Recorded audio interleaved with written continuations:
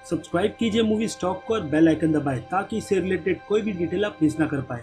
Hello friends तो आज मैं बात करने वाला हूँ जेम्स गन के बारे में, जिन्हें लेकर काफ़ी सारे रूमर ये आ रहे हैं कि जेम्स गन डीसी के यूनिवर्स में अपने अगले प्रोजेक्ट को शुरू करेंगे मैन ऑफ़ स्टील फ़िल्म के सीक्वल से, जबकि इसकी अब तक कोई भी ऐसी अपडेट ऑफिशियली नहीं कंफर्म की गई है। तो क्या है वो सारी की सारी डिटेल चलिए उस पर कुछ डिस्कशन करते हैं, ताकि आप भी इस डाउट से काफ़ी क्लियर हो सके की असल में जेम्स गन को लेकर डीसी के यूनिवर्स में चल क्या रहा है।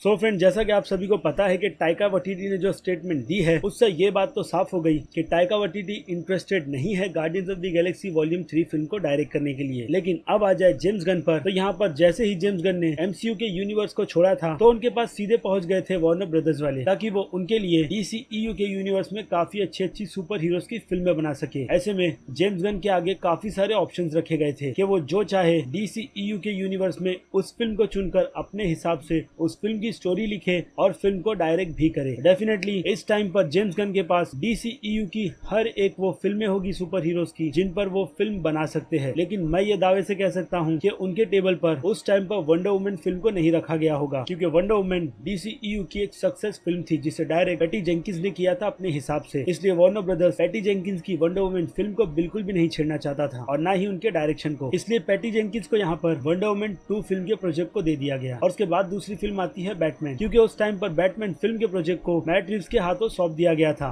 ताकि वो उस फ़िल्म पर काफ़ी अच्छी तरीके से रिसर्च कर कर उस फ़िल्म की स्टोरी लिखकर फिर उस फ़िल्म को डायरेक्ट करे। और इसमें कोई डाउट नहीं है कि मैट रिव्स काफ़ी बेस्ट फ़िल्में बनाते हैं। ऐसे में बैटमैन फ़िल्म उनके अंडर ही आनी थी। और फिर यहाँ पर ऑप्शन निकल कर आया फ़िल्म मैन ऑफ़ स्टील का, क्योंकि मैन ऑफ़ स्टील फ़िल्म के डायरेक्टर और डीसीईयू फ़िल्म के प्रोड्यूसर जैक स्नाइडर ने इस यूनिवर्स को छोड़ दिया है। उनकी कुछ पर्सनल प्रॉब्लम थी, जिस पर ऑलरेडी मैंने काफ़ी साल पहले वीडियो बनाई थी। यानी अब यहाँ पर बात करें मैन ऑफ़ स्टील फ़िल्म के बारे में तो इस फ़िल्म के सीक्वल को बीच में लटका दिया गया है। कि अब इस फ़िल्म के सीक्वल को बनना चाहिए या नहीं? क्योंकि जैक स्नाइडर के बाद जिस डायरेक्टर का नाम आगे आया था, उनका नाम था मैथ्यू वॉगिन जिन्होंने इसके पहले किंग्स मैन और की जैसी फ़िल्म को डायरेक्ट किया है। लेकिन अब तक उनकी तरफ़ से भी कोई अपडेट नहीं की गई है। लेकिन अभी भी रूमर चल रहा है कि कहीं ना कहीं मैथ्यू इस फ़िल्म को डायरेक्ट करने के लिए आगे आ सकते हैं। तो अब यहाँ पर मैं बात करूँ जेम्स गन की तो डेफिनेटली जेम्स गन ने इस प्रोजेक्ट को नहीं लिया होगा। क्योंकि जेम्स गन का टेस्ट मैन ऑफ़ स्टील जैसी फ़िल्म बनाना बिल्कुल भी नहीं है। उनकी फ़िल्में काफ़ी कलरफुल और थोड़ी कॉमेडी होती है। ऐसे में मैन ऑफ़ स्टील और डार्क नाइट फ़िल्म उनकी कैटेगरी में आती ही नहीं है।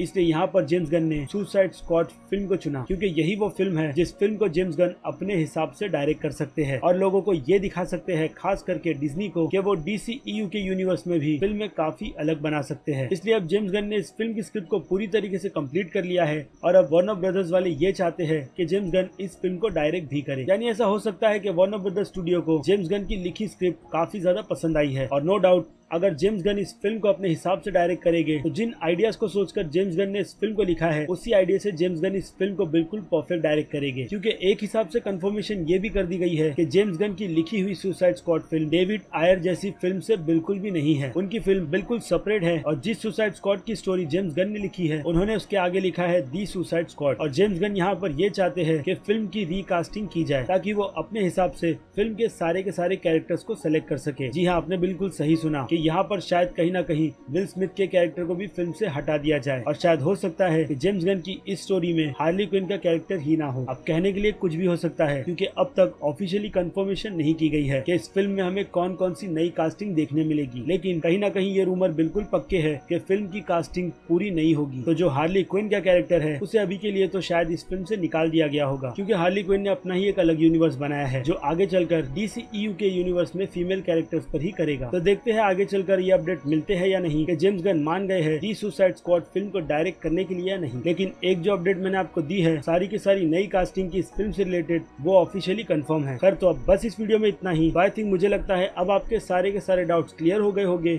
मैन ऑफ़ स्टील और सुसाइड स्क्वाड फ़िल्म को लेकर डीसी के यूनिवर्स में इन दोनों फ़िल्म को लेकर क्या चल रहा है? और जेम्स गन अभी फ़िलहाल तो कौन से अपडेट पर है इस यूनिवर्स में? तो अब जाते जाते मेरे इस वीडियो को लाइक करना बिल्कुल भी मत भूलिएगा। और अगर आप मेरे चैनल पर नए हैं तो मेरे चैनल को सब्सक्राइब भी कर लीजिए। और लगे हाथों उस बेल आइकन को भी क्लिक कर दीजिएगा, ताकि मैं इस चैनल पर जब भी कोई नई वीडियो अपलोड करूँ, आपको उसकी नोटिफिकेशन सबसे पहले मिले। तो अब मिलते हैं आपसे अगले वीडियो में। Till then bye